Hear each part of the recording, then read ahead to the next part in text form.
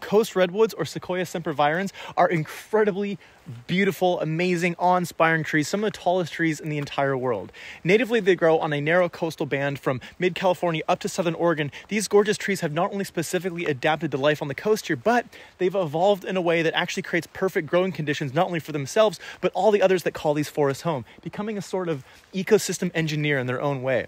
This part of the coast is known for its fog, which you know you can kind of see creeping through the forest up here, which precipitates often from solar radiation over the ocean that evaporates water, which then cools in the evenings and condenses into a thick blanket of fog. Now, these redwood forests here with their great heights reach upwards towards the sky with their complex crown, which increases friction and air resistance. And this boundary layer created by their canopy works to slow wind and catch that thick fog coming in off the oceans, which lingers in their canopies instead of being whisked off by stronger winds higher up. These trees are able to conduct folial uptake or the absorption of atmospheric moisture in that fog to conduct photosynthesis, as well as bark uptake, where their porous bark absorbs that moisture high up and transports it into their xylem.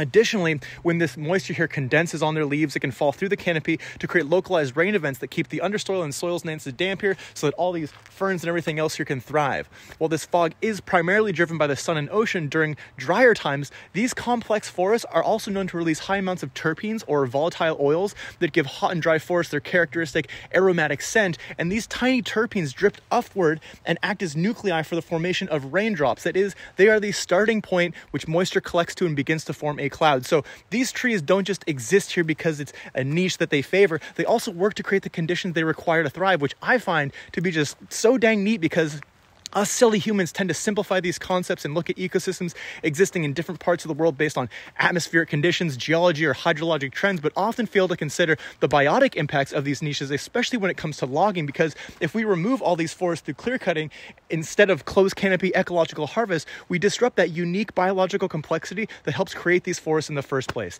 It's all connected. How beautiful is that?